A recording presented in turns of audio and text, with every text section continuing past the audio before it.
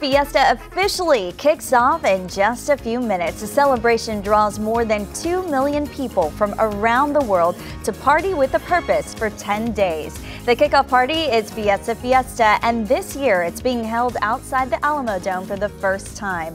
Our KENS 5's Jeremy Baker is out there, and Jeremy, Viva Fiesta! Yeah, Viva Fiesta. You hear the music going, they just started the, the bass jumping right now, so we're getting into it. Now, this is Steve Rosenauer. Thank you for joining us. Now, you're in charge of all this.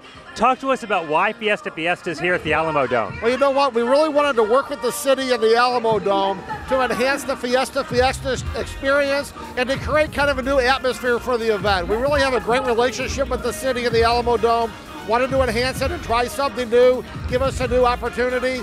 We also wanted to entice people to come down to the Alamodome HB Plaza, and also head over to our carnival as well. It's happening right now as well.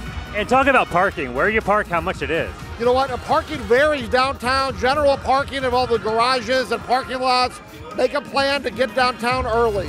All right. So the weather obviously is a little warm right now, but not too bad. But there's plenty of space out here for a lot of people, right? Oh, absolutely. It's a great family event. The event is free to come down, free admission. We have music and food and drinks, a lot of sponsor interactions. It's a great time. All right. Now, what's your one favorite thing about Fiesta? If you had to pick one thing. You know what? Our theme this year is Fiesta for All, and that's really what I love about Fiesta. All parts of San Antonio come together to celebrate more than 100 organizations and raise money for charities. Thank you so much for all the answers. Of course, we have our KENS 5 Fiesta medal. Got to give that to you. Thank you so much, Stephen. Viva Fiesta to you too. Now over here, we've got Joe. Joe, how long have you been coming to Fiesta for?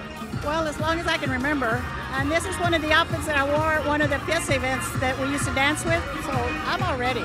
I love all the colors and it's so classy. Even the feet are done up. Love your hat. And talk about Network for Young Artists, who you're representing. I'm helping Network for Young Artists. I've been on their board, but I'm not this year. But uh, they help young kids take lessons for $25 a month. It's unbelievable. They can take voice, dance, piano, drums, guitar, and it's all for $25. So what we're doing is selling the medals today at a good price to $6 last year's and this year's. So they're beautiful. So you'll have a, a, a nice recollection of this fiesta today. So it's been fun. There are some good deals for those medals right there. All right, so come on down here. You can meet Joe. You can check out these medals and have a lot of fun with the music.